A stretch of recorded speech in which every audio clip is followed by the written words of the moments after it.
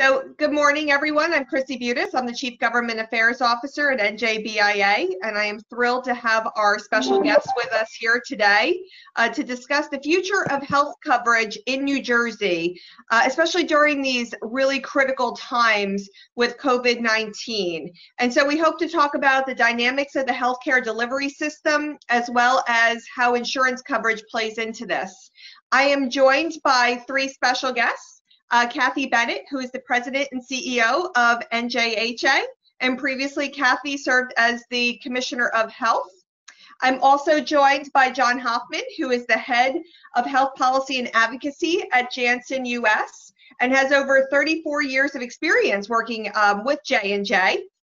And we're also joined by Allen Karp, who is the Executive Vice President of Healthcare Management and Transformation at Horizon Blue Cross Blue Shield. And so, again, uh, a wealth of knowledge on our panel discussion here today, and hope to get started by just kicking off, obviously, with you know the most pressing issue that the that our nation as well as the the world is facing which is covid-19 and i know all three of you are right in the midst of dealing with this pandemic in your respective industries and collaborating as much as possible. So we know that covid-19 has upended the health and safety of our state and well in ways that were really unthinkable a year ago. Who would have thought and so we have seen shifts in, in work and, and consumer behaviors.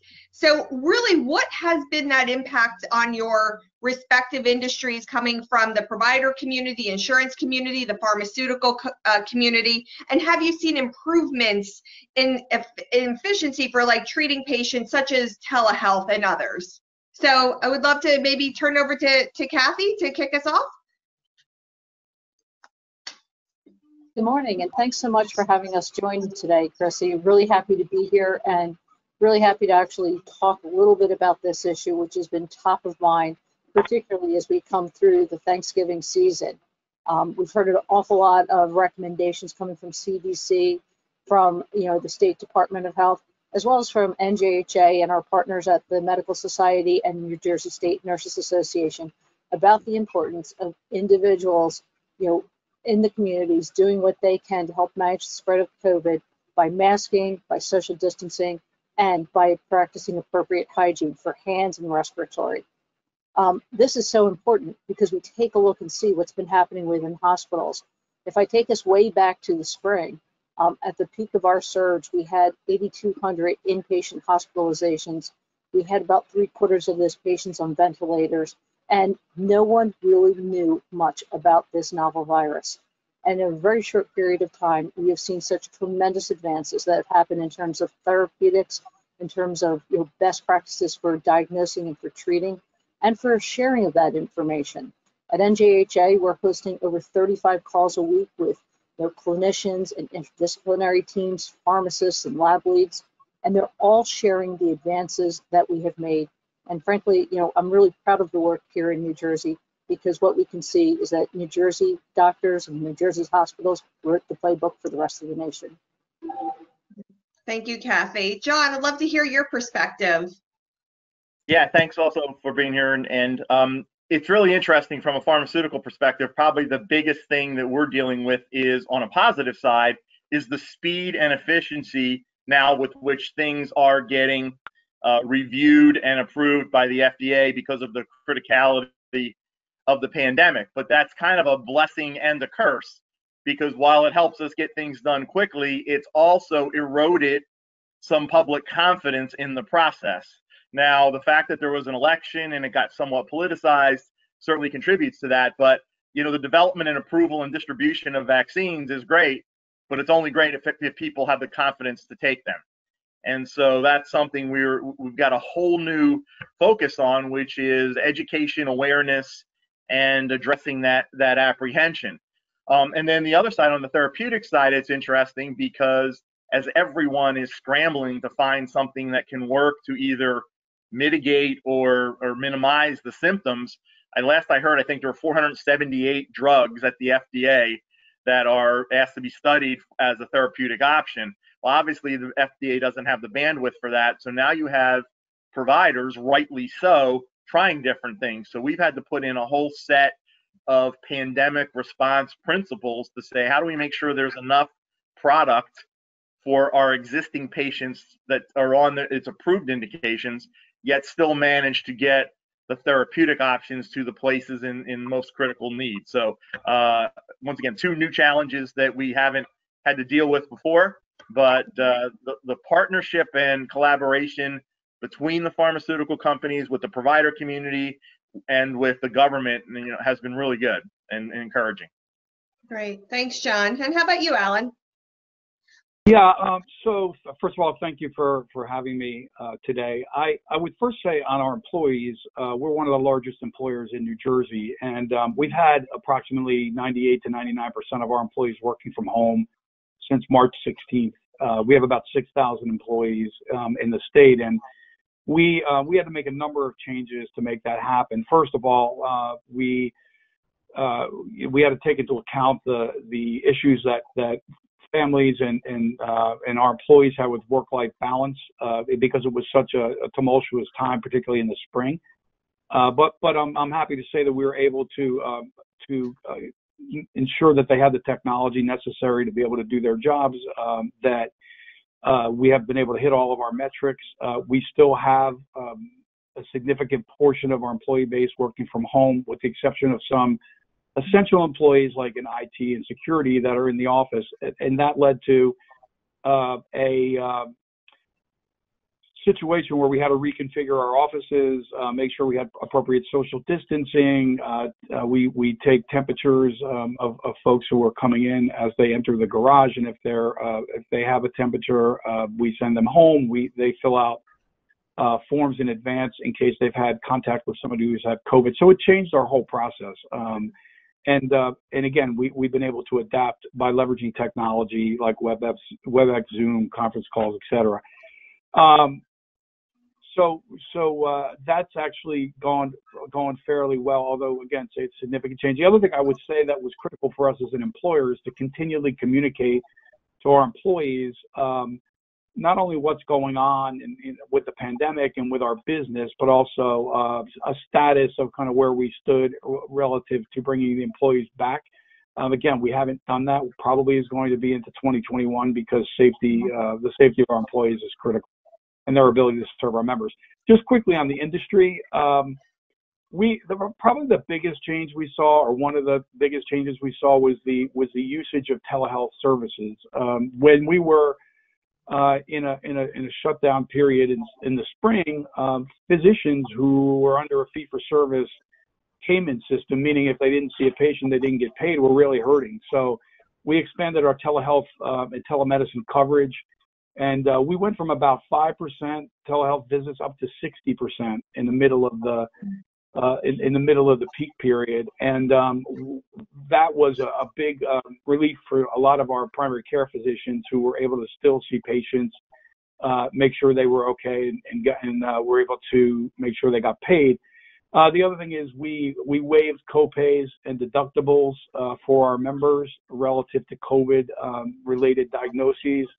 Uh, we advanced payments to primary care physicians. Um, because of, of, of what I, I just mentioned in terms of their their uh, the fact that they, they don't have big balance sheets typically and and uh, they were really struggling uh, to stay open and, um, and then we also extended payments for employer groups meaning you know we gave them um, uh, over a 12 to 18 month period the opportunity to to pay over time uh, versus paying us during the, the the heart of the crisis so those are some of the things we we have done. Um, the telehealth uh, or telemedicine piece has really stuck. Uh, we're not we're not at 60% anymore. We're down to like around 10, uh, but that's double uh, where we where we historically were, and that's because both physicians and and members have now accepted that that's a it's a really good way to seek care.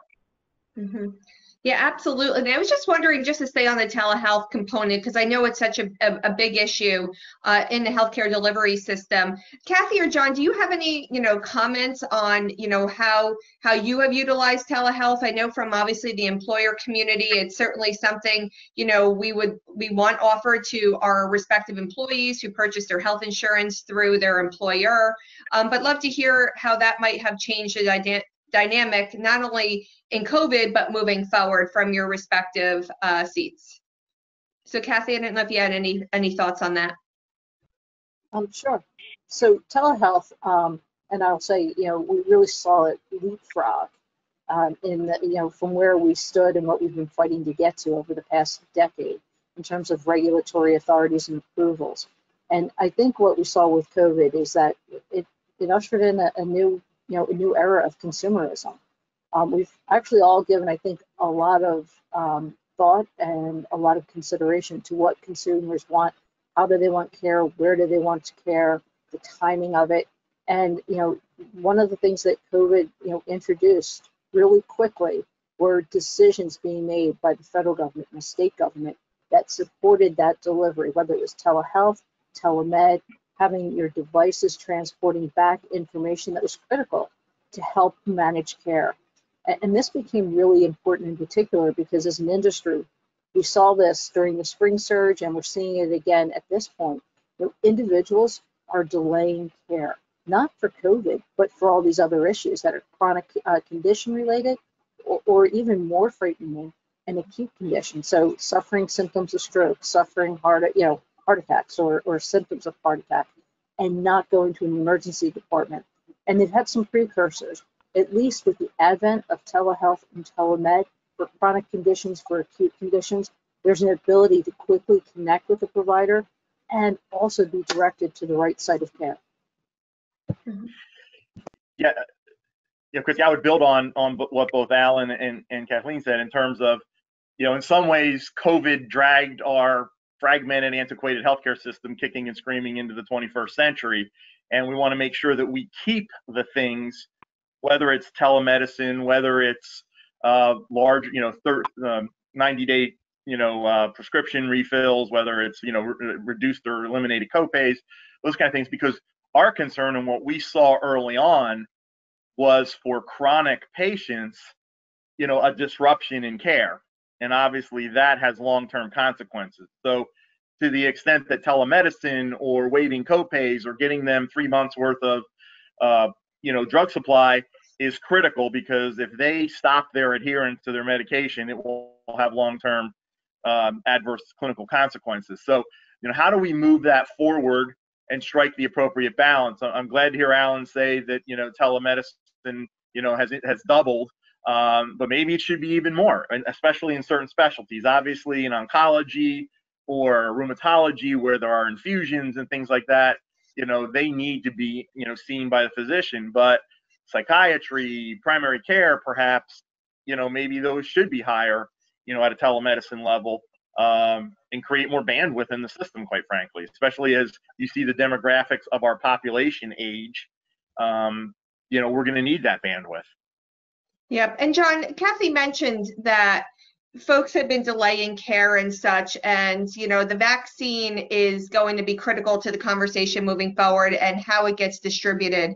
I know that you all know that the state has a very robust plan. It's actually on the department of health's website right now uh, calling for at least 70% of our population to be uh, to receive the vaccine in, in the not too distant future when it becomes available and such. The business community has a has a key role in this because, as you said, there's some hesitancy to possibly get vaccinated and such. And you know, we want our employees to be healthy. We want the entire population to be healthy so we can get our economy back up and running to make sure that we also stop the spread of this global pandemic. So so John, can you share with us a little bit about, you know, really what you're seeing now with that collaboration amongst the pharmaceutical companies and some of the clinical trial diversity that's gone into play and, you know, what message you would give to the business community about the vaccine?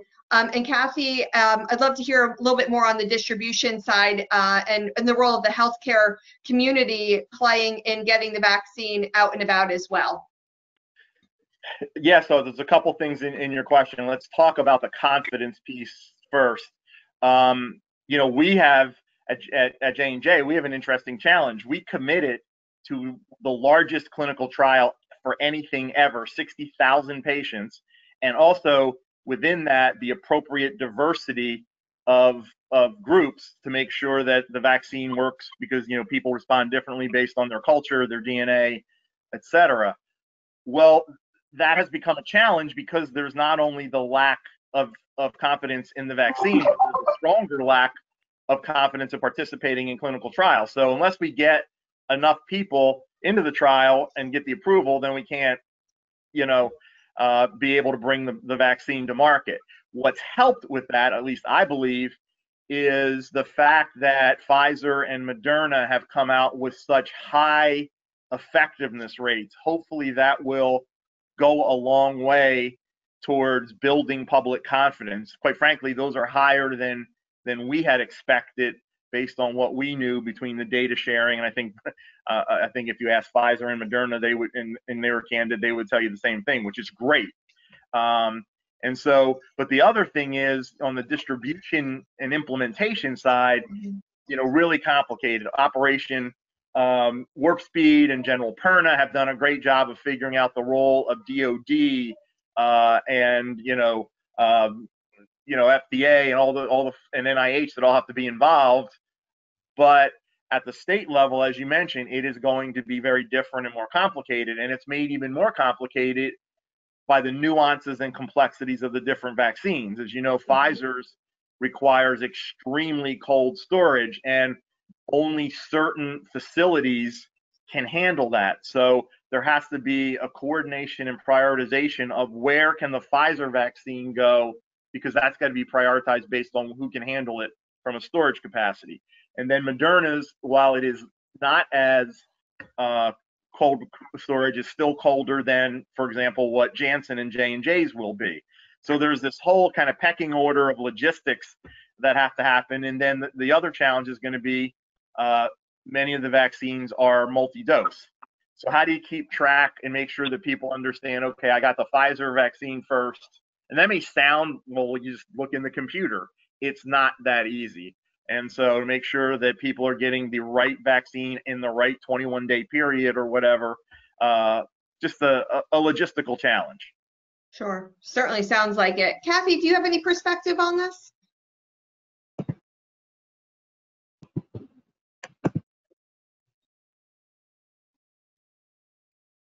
Hi, sorry about that. Um, yeah, you know, one of the things that we've really been seeing is uh, you know, it is logistically, as John said, a true challenge. Uh, we've surveyed all of our member hospitals, and we know that we have about 40 that have the ultra cold storage that's required, for example, for the Pfizer uh, vaccine. And when we say ultra cold, we're talking about something that's being stored at greater than minus 80 degrees Fahrenheit. So just to give you context for that. Um, but we've also been working really closely with our partners in you know the federal and state governments as well as working with the pharmaceutical industry to better understand and build confidence right off the bat in terms of the safety, efficacy, the data, and the science behind these vaccines, because we recognize that the very first distribution is going to go to the healthcare workforce. And in order to build confidence, not just you know amongst healthcare workers, but across everybody within the state, um, with it with the vaccines, we need our healthcare workforce to have a high uptake um, in, in terms of vaccination. And this is really, you know, a, a different time for us because, you know, um, this COVID-19 vaccine, you know, as they come out, they're going to be used under what's called an emergency use authorization from the Food and Drug Administration. So once uh, the FDA authorizes or approves that use of the COVID-19 vaccine, limited quantities are going to become very quickly available because of the advanced planning that has taken place. Um, we expect we're going to see some in December and that we are going to begin work vaccinating the healthcare workforce. But we, at the same time, have to make sure that we continue to build confidence in those that are being vaccinated. As, as John suggested, you know, tracking who's being vaccinated, making sure that they get recalled so they get their second dose is also going to be important. As we look at, you know, the allocation amongst the healthcare workforce, there's so many considerations. As you well know, you know, we've, we've got you know over a quarter of a million individuals engaged in the healthcare workforce just through our hospitals um, and, and the immediate continuum, post-acute continuum. And, and as we look at that, we have to worry about you know, who's at the greatest risk of acquisition of COVID.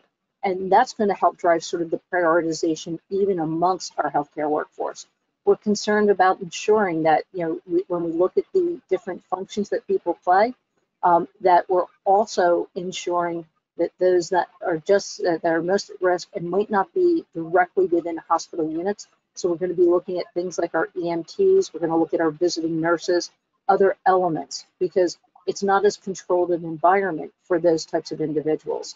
Um, one of the things that I think you know there should be great confidence is eh, confidence in is the infection prevention and control protocols that our hospitals have in play.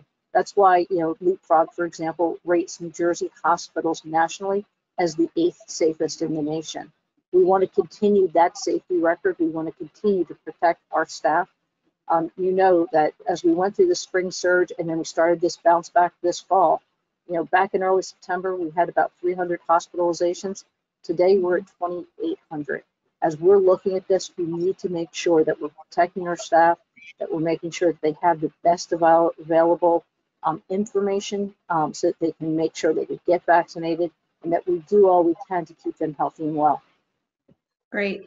And Allen, I'm I'm certain uh, from the insurance perspective, uh, you're following this also very closely. So I was curious if you had anything to add.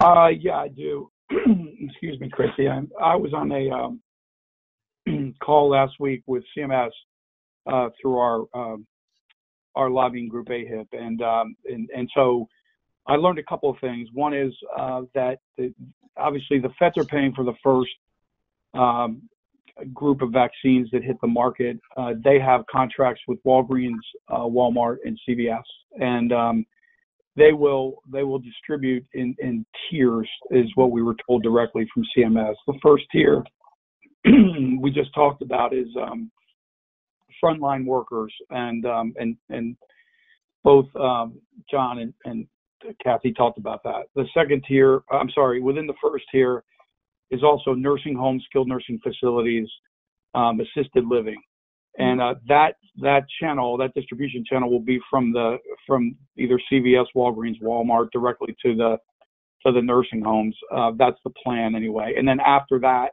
it, are are people who are most vulnerable uh, to the disease that uh, may have uh, pre-existing conditions, et cetera and also folks who live in the urban areas. We've been uh, talking to the Department of Health about how we can use our our vans and some of our resources to help that distribution, uh, particularly in that that the the most vulnerable markets, and then the general public after that. I think um, John talked about and and Kathy about the storage. Um, issues and and you know right now physicians uh, don't have uh, the capability to even store the the vaccines and they do go bad if you don't use them uh, so uh, that that's something that you know uh, over time will will play out. Uh, AstraZeneca had just um, announced their results, and I know Johnson Johnson is is right there as well. Um, but uh, so that that's what we uh, what we see. The other thing is we will be waiving copays and deductibles uh, just like we did for testing and and visits in the first wave, and and that's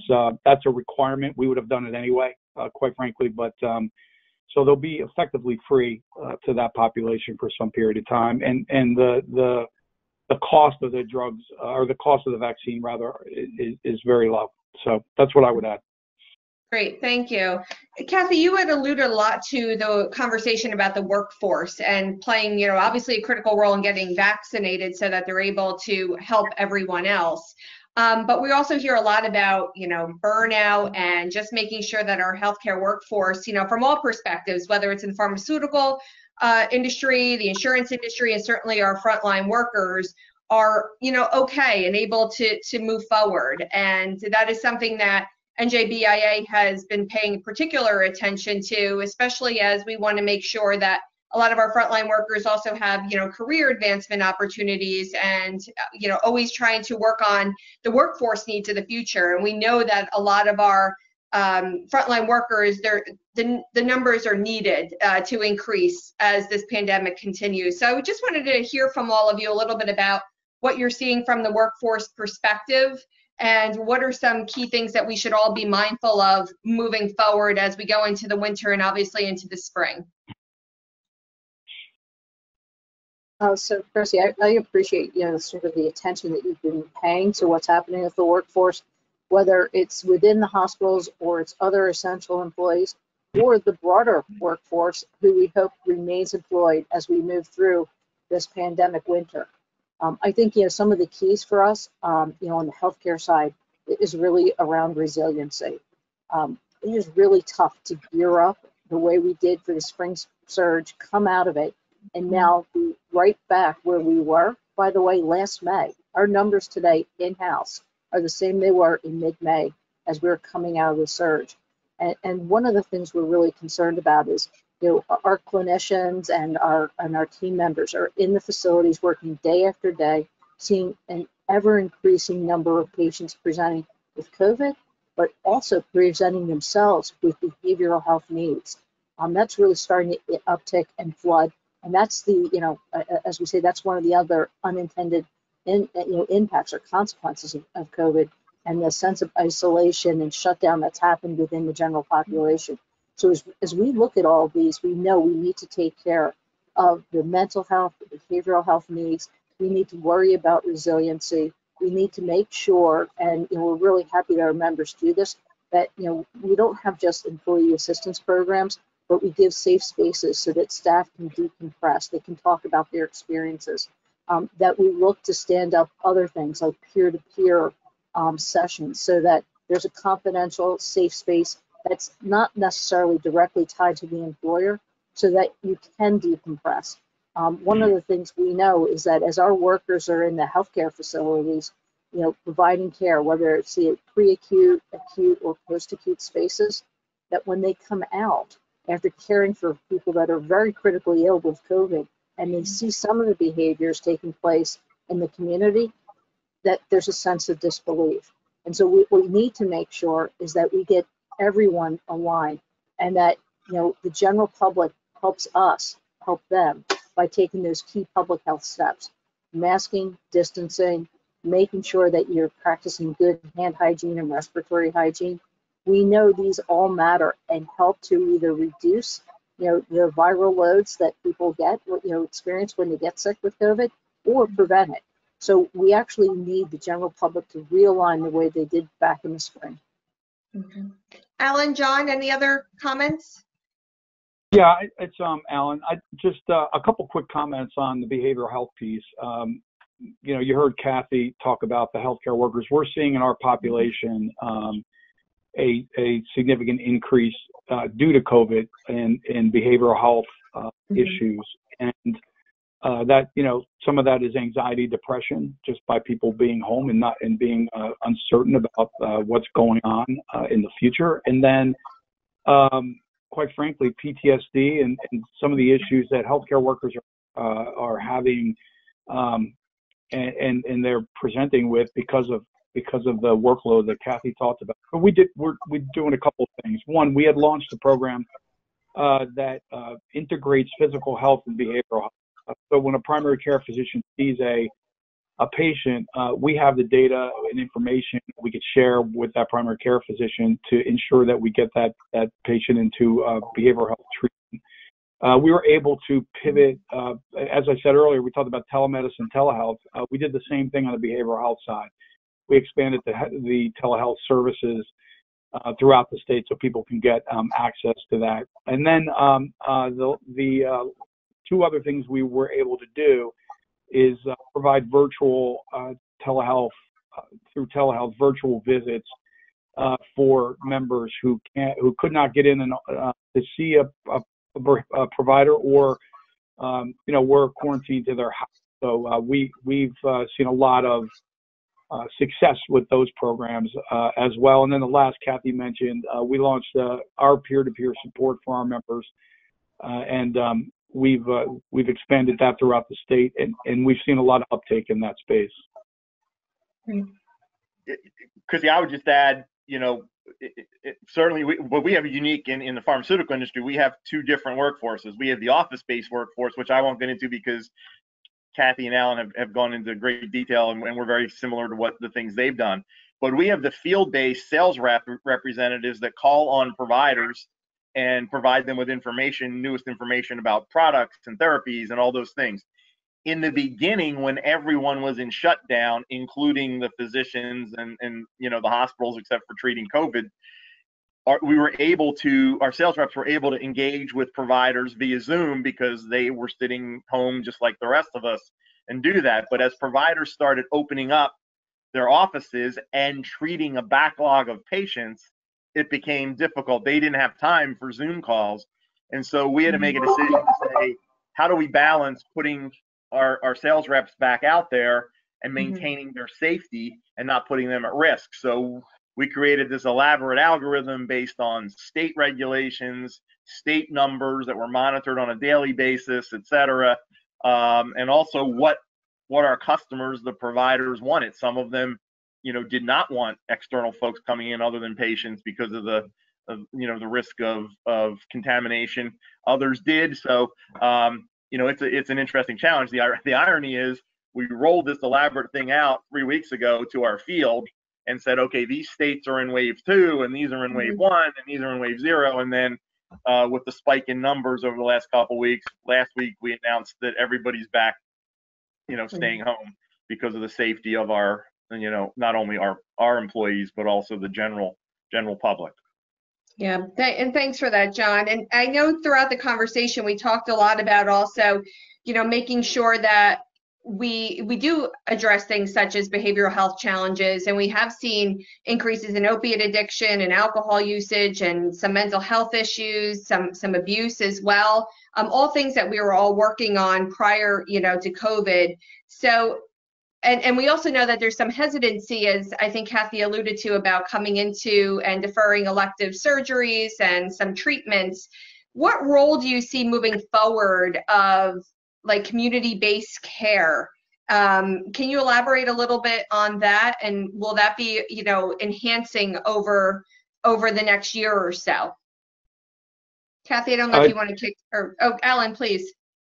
Yeah, no, I, I, I would, uh, I, could start on, on this. We, uh, we created even prior to COVID, uh, community health division within my division. And, um, the, the focus was on in the, the most vulnerable communities, um, how do we, uh, how do we engage those, those members or, or patients so that we get them to the right site of care at the right time early enough?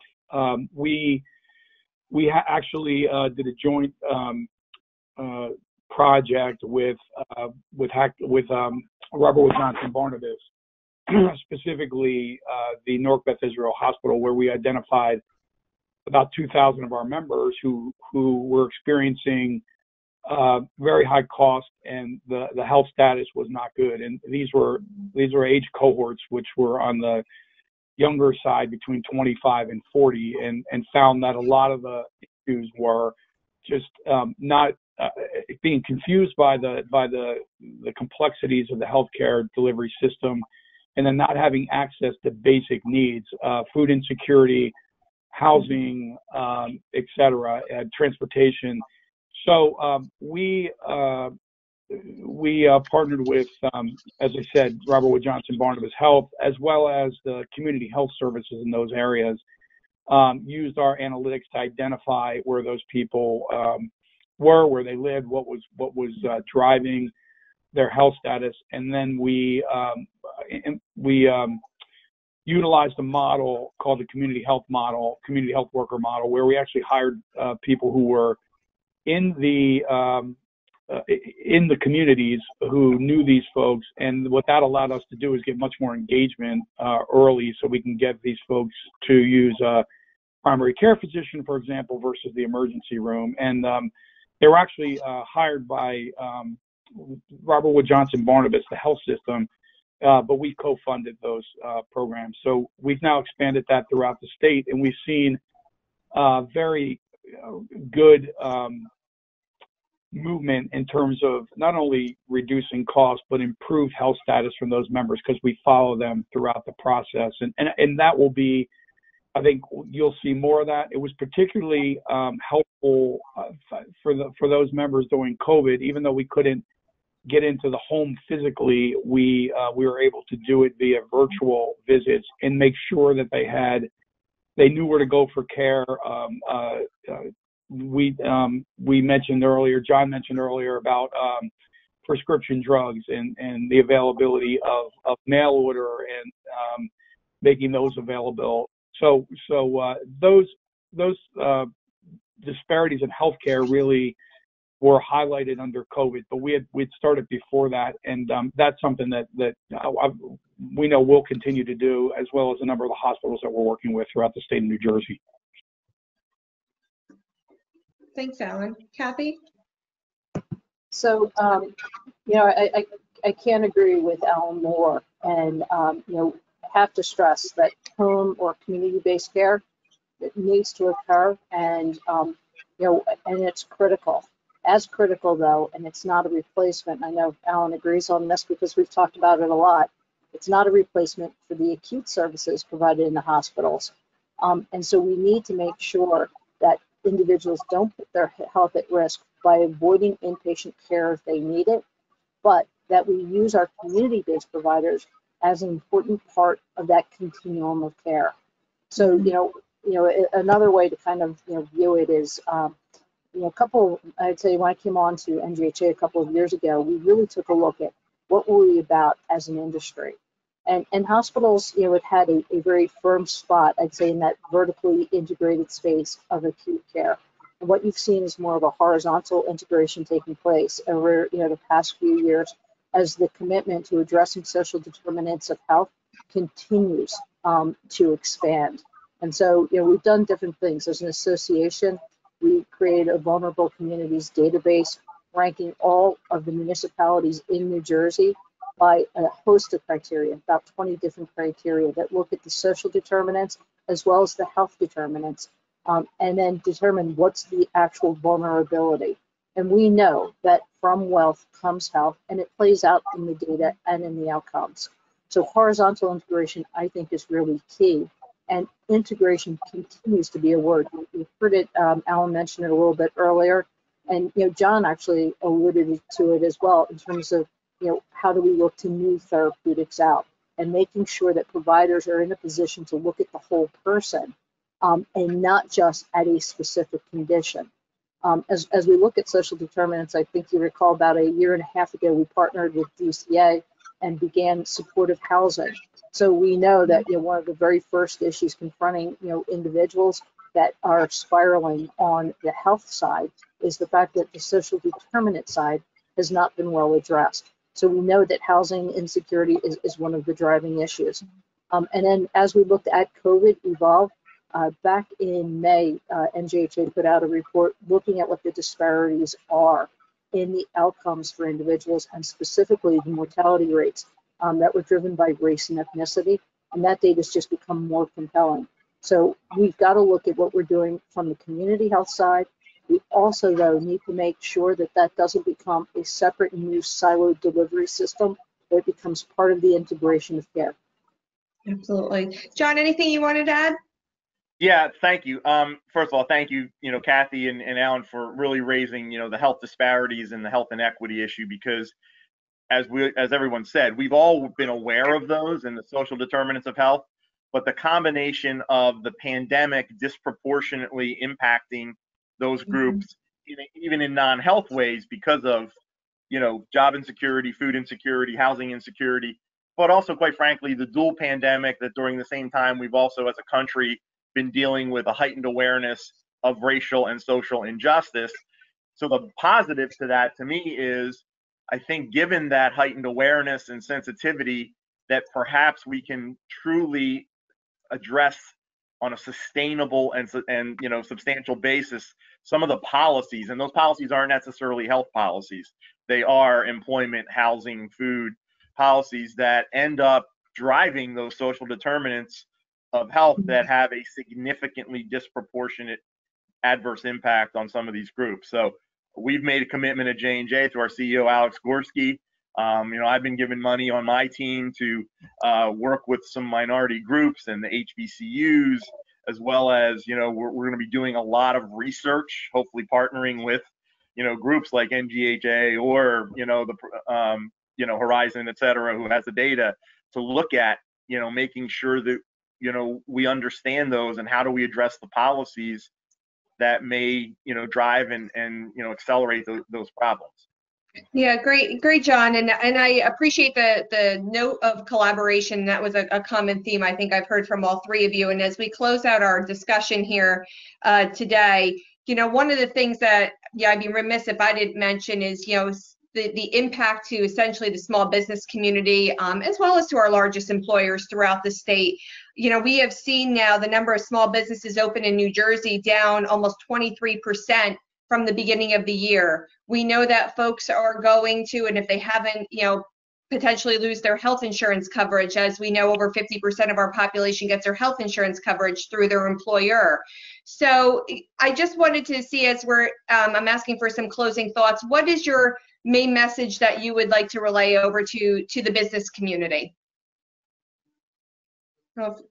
Maybe John, if you'd like to start? Sure, sure, I can start. I mean, obviously, and it, it, it, it summarizes a lot of, of what everyone's saying is, is recognizing that you have to be aware of your employees' whole health, you know, psychological, physical, but also environmental in terms of, of these insecurities of food and job. Um, obviously, you know, I think it's obviously more challenging for the small businesses. They don't have the wherewithal to sustain something like this. They don't have the capital reserves that large corporations do. Um, and, you know, to have that flexibility to say, how do you, uh, moving forward, how do you prepare for this for the next time so that you can have things in place um, to be able to deal with it better, you know, because unfortunately, you know, this is not a once every hundred years thing. I think moving forward now, I think we're going to see more of these um, in the future, and and we need to be ready for them. Great. Kathy, do you have any Yeah, I- comments? Or, go ahead, Allen. um, no, I would just say um, echo with uh, what John just said. I think uh, from our perspective, uh, we have a a number of um, obviously small business, uh, mid-sized businesses, and large businesses, and I think um, my message would be that uh, what has really, I think, been um, brought to the forefront in in the pandemic is the ability for various constituents in the healthcare um, industry to work together. We have a extremely uh, tight relationship, um, uh, relationships, I should say, with health systems, with physicians, um, with Kathy and, and what she's doing, and and obviously, um, you know, with our with our pharmaceutical partners. The goal is to continue to provide um, services uh, and, and and flexibility to the members we serve, so that they can get affordable health care and affordable health insurance. And, and we've been able to use um, our, our relationships and our data and have open discussions with our, um, with our health system partners around how do we, how do we provide a, a better uh, product suite for our, for our members in the New, Jer- and New Jersey residents moving forward?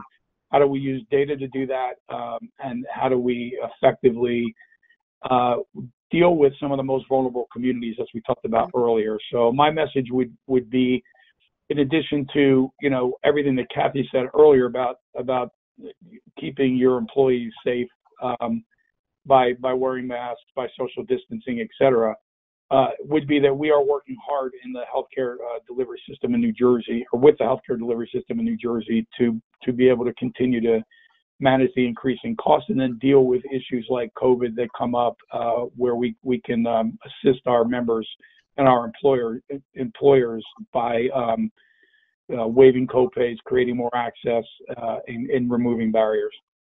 Yeah, absolutely. Thank, thanks so much, Allen, for that. And uh, Kathy, any closing remarks?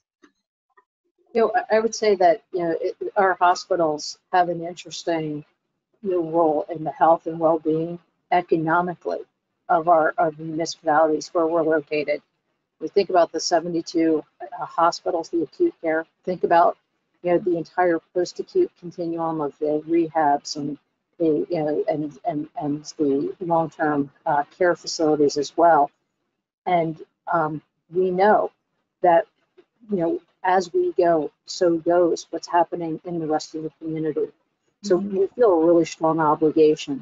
Um, you know, I think, you know, you've seen, we've done reports around the economic impact to the post-acute environment as well as the hospital environment um, that COVID has had. We've seen that, you know, purchase PPE, the cost is now 10 times what it was a year ago. So the expenses are continuing to escalate. Um, and at the same time, we've seen revenues become depressed. And yet, you know, hospitals continue with this absolute commitment to their communities. They continue to provide community benefit. They continue to provide community advice. I can't tell you the number of calls that we've been on, you know, with mayors and other elected officials and with business improvement districts, just talking about what they can do to support what's happening from an economic perspective as well within their communities. And we know, and this kind of comes back to that, from wealth comes health, that as the you know, local businesses are suffering and you know as they're forced to you know reduce hours and reduce capacity, at the same time it plays out for every one of their employees, and that economic burden is adding to the behavioral burden.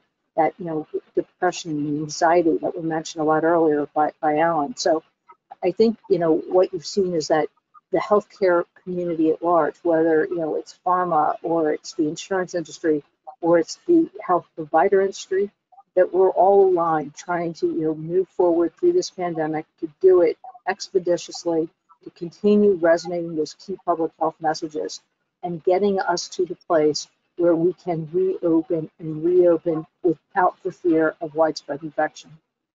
Kathy, I think you just summed it all up there, and certainly that alignment and that collaboration amongst us all, and trying to one uh, make sure that we get the virus under control, but also two making sure that we have the economic, you know, vitality to move forward and to bounce back. Um, we're going to have to all do it together, and for that, I just want to thank you, all three of you, for joining us today, and to express our appreciation to all your frontline workers who are out there day in and day out caring for our New Jersey residents and our, you know, employees. So, so thank you again for spending time with us today and look forward to the continued collaboration on behalf of the business community with our business colleagues uh, in both the insurance uh, and, and also in the um, healthcare delivery system and pharmaceutical industries. So thank you again for your time today. Thank you. Thank you.